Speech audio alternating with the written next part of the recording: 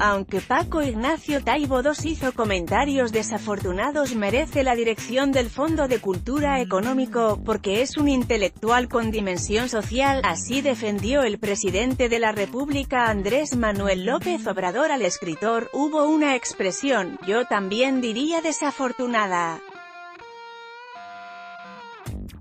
Él como es un hombre de convicciones, ofreció disculpas. Y yo creo que él merece ser el coordinador del Fondo de Cultura Económica. Me sentiría yo muy apoyado, respaldado en esta labor, argumentó durante la conferencia mañanera.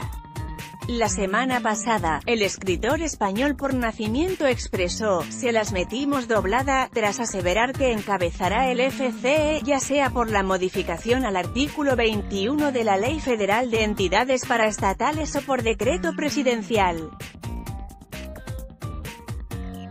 Política a pesar de incidentes, Ayudantía continuará con seguridad de AMLO sin embargo, López Obrador comentó que no tenía conocimiento de la situación del nombramiento, pero espera que se resuelva a la brevedad en favor de Paco Ignacio Taibo de Oes. Todavía no sé bien cómo va a quedar lo de Paco Ignacio, desde luego que a mí me gustaría mucho que él se hiciera cargo del Fondo de Cultura Económica. Él es un gran escritor, un intelectual de primer orden, dijo. Paco Ignacio Taibo II no puede presidir la FCE, pues de acuerdo con la legislación un extranjero no puede encabezar los órganos paraestatales, aunque el escritor haya vivido toda su vida en México.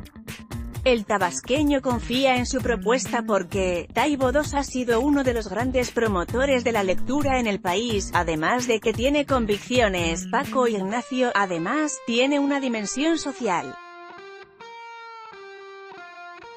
Hay intelectuales muy buenos, hay buenos escritores, grandes escritores, pero no todos ayudan, no todos contribuyen en lo social. Claro, la literatura, la investigación es una contribución social, argumentó.